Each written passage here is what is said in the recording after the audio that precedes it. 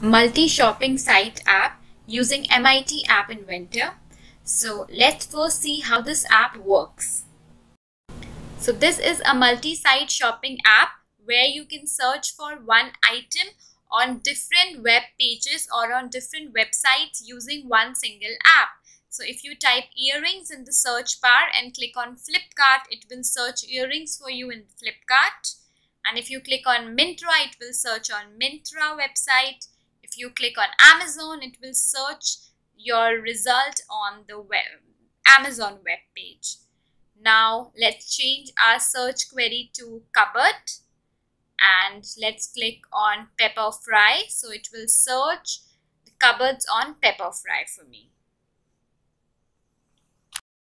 Okay, so now let's learn how we can create this app. So as this is the multi-shopping site app, you can search for an item on different sites, on different, uh, using different websites like Amazon, Myntra, Pepperfry, Flipkart using one single app. So now let's get started and see how you can create the user interface of this app. So the user interface is pretty simple.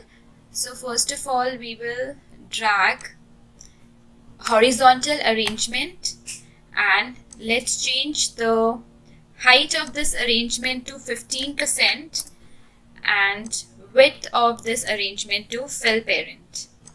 Okay, so next one will be vertical scroll arrangement and now let's change the height and width of this vertical scroll arrangement to fill parent.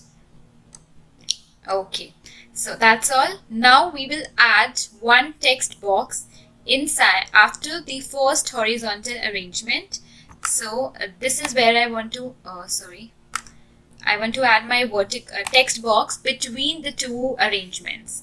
So let's increase the height of my text box. Let's make the height as set the height as 10% yeah this looks fine. And let's also change the hint for the text box.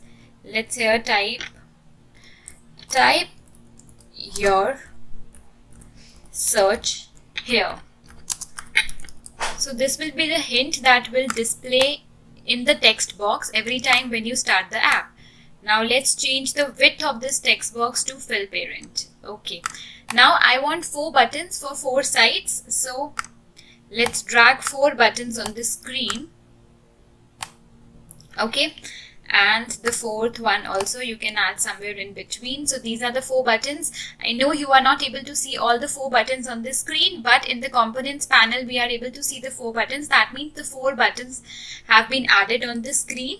You will be able to see all the four buttons when you test the app on your mobile phone. So let's rename these buttons one by one. So first button will be amazon. Next button. So right now i'm just renaming the buttons it will be Flipkart. Fourth but uh, next button will be Myntra and the last button will be Pepper Fry. Okay. So we are done renaming all the four buttons. Now let's change the text for all the buttons. So for the Amazon button the text should say Amazon. Okay this looks fine. Now next for Flipkart it should say uh, sorry F-L-I-P-K-A-R-T Flipkart. Next for Myntra it should say M-Y-N-T-R-A Myntra. Okay and for pepper fry again it should say pepper fry. Pepper fry.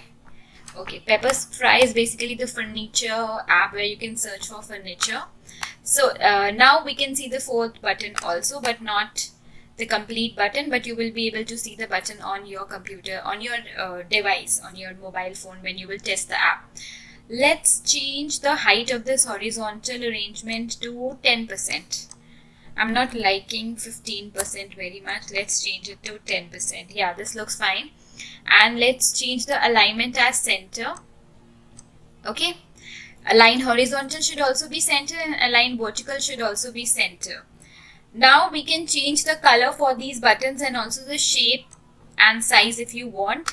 So I just want to change the color for these buttons. So first of all, I will make the text as bold and I will change the color for these buttons. so first one is Amazon so let's change Amazon to this cyan color then Flipkart to yellow and then Myntra, let's change Myntra to um, okay let's custom the color and let's choose a custom color and choose the orange color for Myntra. okay let's choose this for Myntra and for pepper fry, let's choose the red color for pepper fry. okay and let's make the text also bold in all the buttons okay so for all the buttons the text is bold and my buttons look fine to me. Now the last thing is drag and drop the web viewer. Web viewer in the user interface palette you will find web viewer.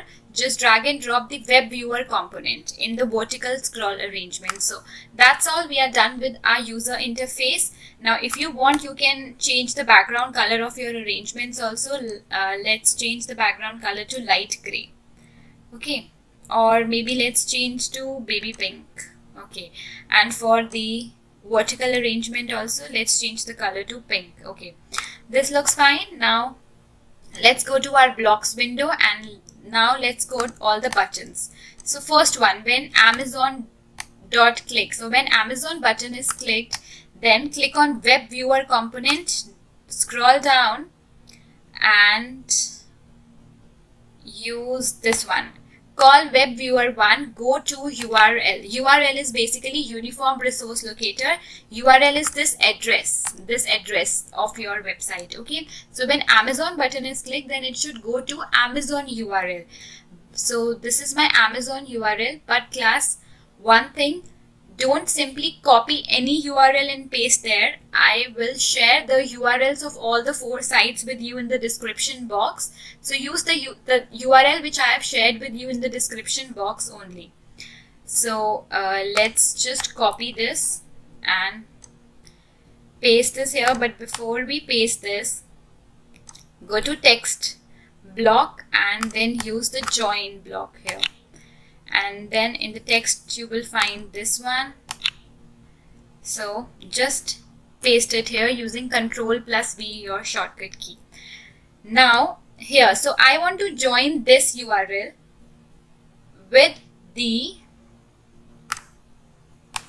just a minute I want to join this URL with the text box uh, text of this text text box. So click on your text box component and scroll down and drag this one. Text one dot text. So whichever item user will enter in the search box that item will be joined with this url and you will be able to see the search results in the in this space provided in the vertical arrangement here. You will be able to see. So if i type here watch and click on amazon then it will be combined with the Amazon URL. My search query will be combined with the URL. It will be joined because I've used the joined block and the search result will be shown here. So now let's just duplicate this. Duplicate this four times because we are using four different buttons. You can also add five buttons, six buttons or three buttons according to your choice and now let's change the second one to Flipkart and let's go to the Flipkart and just simply copy this URL, go to your MIT App Inventor and paste this. Again, I'm repeating, don't copy and paste any URL. This is a specific URL that I'm pasting inside this for each website.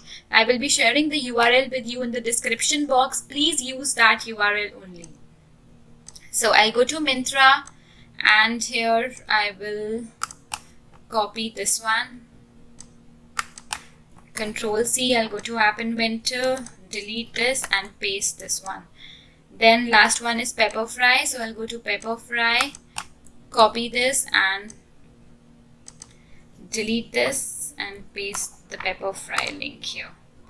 Okay so I'm done with all the four blocks all the four buttons. That's it. We are done with our app so just a minute, I completely forgot to change this fourth Amazon block to Pepperfry. So it should be when pepperfry.click, okay?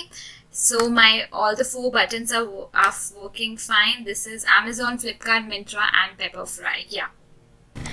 now let's just test the app once again. So for testing the app, click on connect, click on AI companion and using your mobile phone, scan the code and you will be able to test the app. Also make sure when you type your search query in the text box, it should not have any spaces in between. For example, if you want to search for dresses, women dresses, so always type women dresses without any space in between.